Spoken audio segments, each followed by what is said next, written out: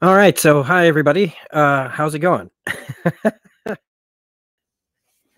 um, I don't even know if I'm releasing this to all of YouTube or not. If you see this on YouTube, then I get I guess I did. But um I this is a video that we're just talking. This is Rob from Smirking Gun, blah blah blah. Um I had a, a moment today just now and it's that kind of moment like when you wake up from a dream and you know you just feel like you got to write everything down and you got to say everything as soon as it's there because if you don't say it you're gonna it's gonna get diluted the memory's gonna you know change somehow and the t- retelling and the retelling and the retelling. So if you get out and you spit it out there right away you can at least keep some sort of you know the original what was going on at the time moment and solidify it out there into the world. So it's like March 5th, 2024, 4:50 p.m. I just got home from work and I was driving home from work and I was just listening to music and and I was it was Smashing Pumpkins Rocket was playing and that song played and ended and just typical ride home and then Alice in Chains' Love Hate Love comes on. And I'm driving past my dad's house for like the millionth time because on my way to and from work, uh, I've got to drive past my dad's house. Um, any if you know my channel at all, uh, and even if you if you don't know my channel, and if you do know my channel, it's just kind of like news or whatever. But um, I one of the things that kept me uh the, the, the, the content looks the way it does or as inactive as it has been for a while and now all of a sudden there's a resurgence in the channel is because there there was a lot of changes in my life uh Thanksgiving 2022. And uh, I ended up, my living con- situation has changed. And uh, I had been, I mean, there's so many ways to say it, man. I was lit, like, like a lot of people now that have to. I was sharing living space with my father, my stepdad, if you want to be really technical. He's my adopted father. And I paid full rent of the the complete like downstairs apartment, bathroom, all the other shit, and he took care of his shit. Basically, though, it was uh it was a really really horrible, horrible, awful, toxic. Uh, I don't know how I got sober there, but um, I finally got out of there. I I've I've moved on and my life is, you know, as much as you know we can make jokes about the whole, you know, you're one of those people who lives in your parents' basement. Like I was a I'm a full professional who happened to live at home. But I was also at fault for being there mentally. I I had been so fucked up mentally by this person and other situations in my life that I I was I, I knew this world. It, it's so it's so fucked, okay? But I finally got away from it. And it's taken a long time.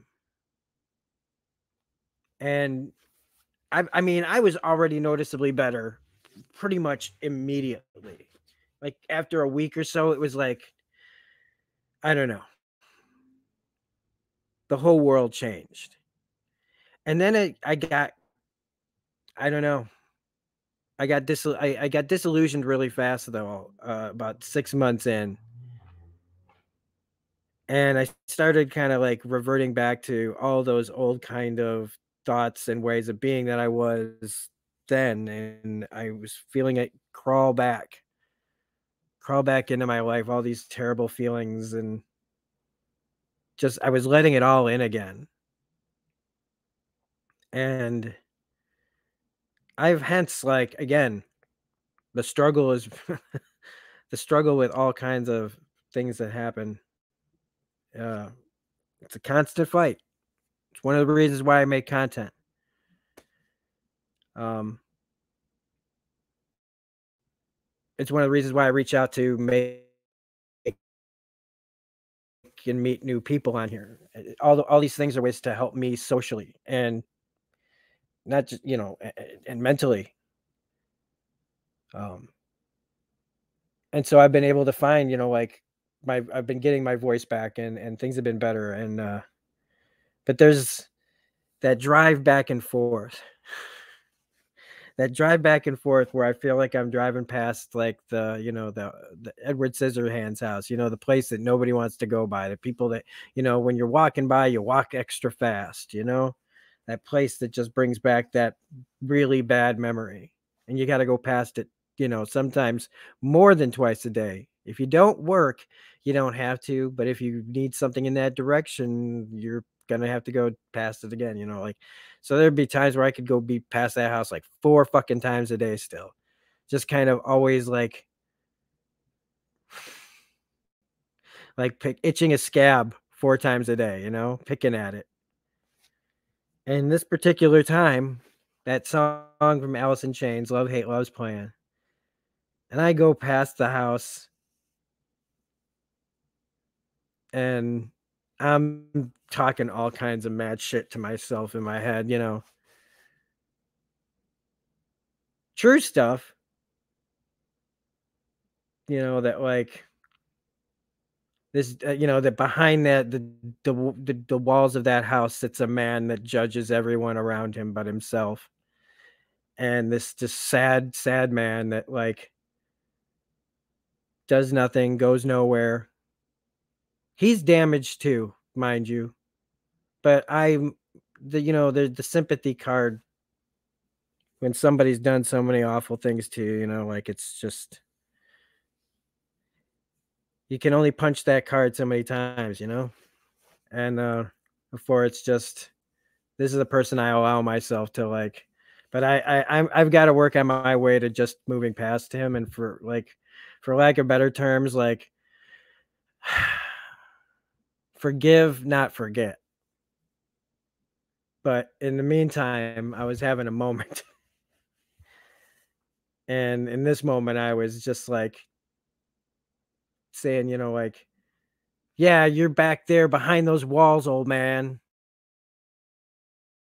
You know, like thinking about if I had ever had to go up to his door again, you know, to like talk to him and have him just be smug like he always is in my face, try to like spew poison, man. He's like he as soon as he opens the doors, he and he opens his mouth, he's like fucking Joffrey Baratheon. He's just saying the most heinous shit that you could possibly think of, and just with a straight dead face, you know, like he's been sitting there with a loaded gun full of insults and shit to fire at you point blank in your face you know, because he just wants to hurt because he hurts. Like he's he's created this situation where every everyone around him is gone and he's all by himself in this how this family home.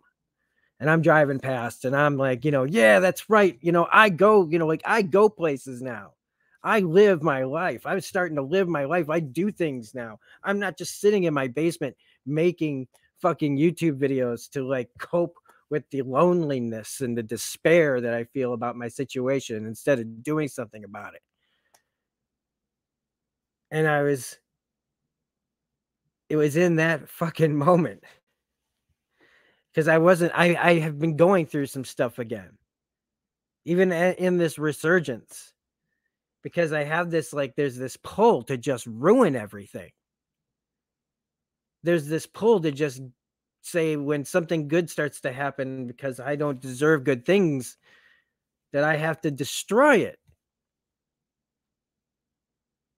And I felt like I was I've been on that path again. Where I haven't hit it yet, where I'm kind of fooling myself, but it's there. And it was like all of a sudden I realized as this was my moment. I something that you know like everybody would be happy to hear like he finally got there for me it's a breakthrough but it's like i as soon as i say breakthrough it's like it was like it clicked in my head that it was the answer all along. I just wasn't letting myself. I was getting in my own way. And perhaps this is just, you know, uh, uh, this is just a feeling I need to keep writing, right? Because I, I know that this could easily be a muscle that atrophies really quickly if not acted upon. But it was like I suddenly realized that that's right.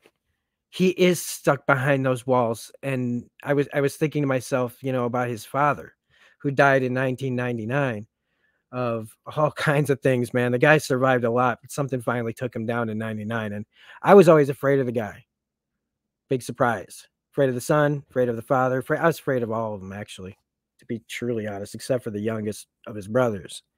He has like four or five like it's a big whatever. Um and over the years, all that's left, he's he's that my dad has is is he sits behind the walls of this house, his family home, that he's done everything under the sun in his power to keep the family home in the family name. So much that after being financially ruined, the house, house had been paid off uh, a family, uh, his one of his brothers took him for everything they had. They put out mortgages on the house to pay this guy's debts. They never saw it back. They are all like the house is in just all kinds of fucked upness. They kept giving this guy money and he never paid it back, and they never asked for it back. And now everything about it is like he's he's taking loan after loan after loan out for this house. And I'm telling you all this because it's just for to me, it's like exposition. Think of it as a story and now all he has is this house that he sits in, that he owes all the just about all of his like money that he accrued from uh, what do you call it? That I'm we're all get uh, uh, social security. You know almost all of it goes in juggling paying off you know the mortgage and the loans that he takes out and then just living and he's just this this horrible horrible nightmare of a story of what happens when you stop living and you blame everybody else but yourself for your problems and and that's not giving people who have fucked you up a, a pass it's just that at some point you have to take responsibility still for yourself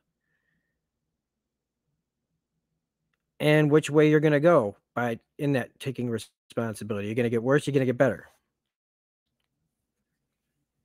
And in thinking about like how I was like I wanted I wanted to say, you know, like his your father would be so ashamed of you. I wanted to that's the one thing I wanted to say like if I wanted to like hurt him really bad, you know, I wanted to just walk up to this man and say, you know, you kept the family house, but you lost the fucking family. The entire family is gone. Everyone, every relative is gone. No one wants to come here. You have become that haunted house, this really nice manicured house that you would never think is just this empty house devoid of life, except one sad man. The house used to be lit up with life, families, and all kinds of people. That was the place to go there were so many gatherings there and now it's just this like memorial to a broken completely shattered fractured family unit. Multiple families are involved in this by the by the way. So all there is is a house and a property that's only going to live longer enough for him to pass away. And i thought oh my god. Like I am living. I'm so like I'm so focused on thinking about like this guy's misery and what he's done to me and how I'm still letting him control that. I'm still letting him win. He wants this. I think deep down he there's a part of him that want doesn't want this think the, you know, the Anakin side of Darth Vader, if you will, you know, that little voice that's buried that knows that you've hurt your everyone around you, yet you just can't admit you're wrong. You just got to double down on everything. But that doesn't mean that I, that means doubly that I need to be living.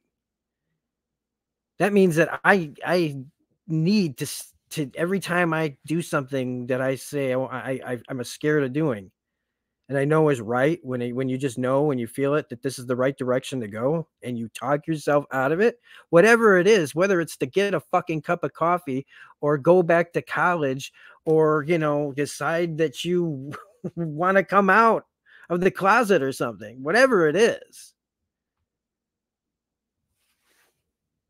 And it just it felt like I finally got out of my own way today. And I realized that I need to live I need to live or or or, or all that shit that I took, all this surviving I've done was for nothing.